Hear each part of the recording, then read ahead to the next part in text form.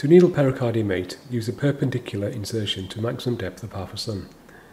This area can be very tender, so using a fine needle and rapid insertion can reduce any discomfort.